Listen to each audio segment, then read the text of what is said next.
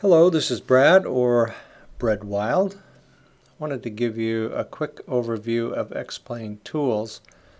These are three utilities, at least to date three, that will allow you to work with routes and flight plans a little bit easier in X-Plane.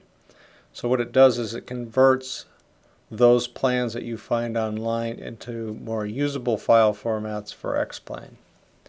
Right now you can grab flight plans from FlightAware, Route Finder, SkyVector, and I'll show you how to do that in a minute. And then convert them into a couple of different file formats for use in X-Plane. The interface is very simple. Just put in a file name. No file name extension is necessary. It will add it for you. You paste in your waypoint data here and I'll show you how that works in a minute. And then depending on the source of data that you're pasting into that window, you'll get different options for output. So let's try one first at FlightAware. This is one of my favorites because these are flights that real pilots are actually flying.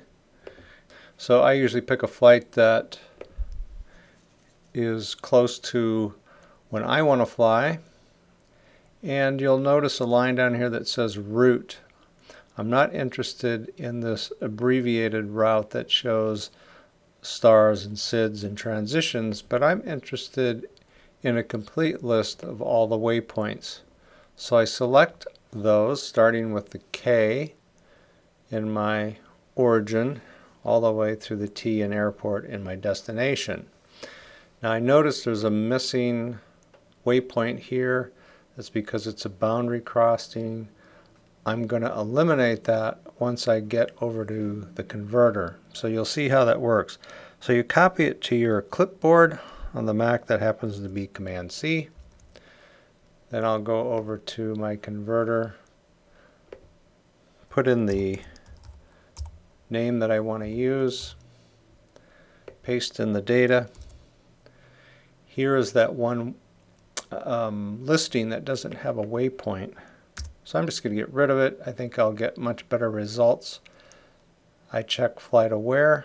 I want an xplane.fms file so I can load it into my Garmin. I'll convert it. You can right click and then save it right to your X-Plane flight plans. Just to give you a preview, you can see that it has indeed converted it to the xplane.fms format. Let's go back and try a couple of others. So let's go over to Route Finder. Let's do the same route. I'm not a huge fan of Route Finder. I think you get better results with some routes over others.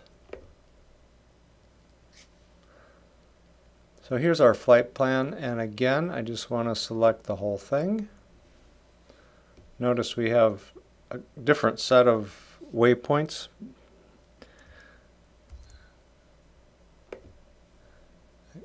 By the way, this will overwrite anything that you've done before with the same name. So be careful.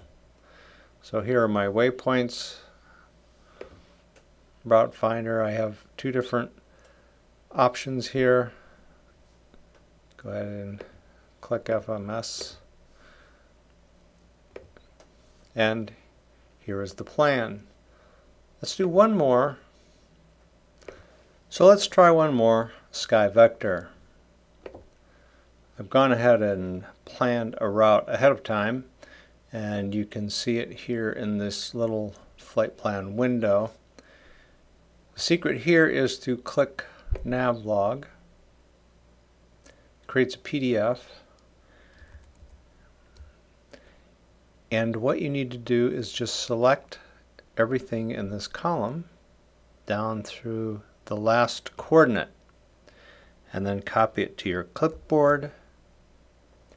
By the way, if you're on a Mac, I suggest you use Chrome. It's a little more complicated with Safari. Anyway, once you get it onto your clipboard, back to the converter,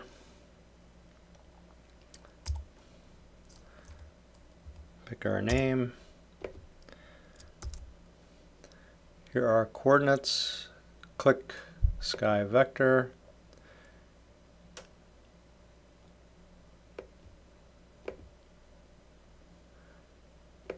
And just to show you, here is the plan. One last thing, I just want to show you where this goes in X-Plane. So I'm going to right click here, save the link as, go over to my application, and down in output, you'll see FMS plans and that's where you would save it. So that's Flight Plan Converter.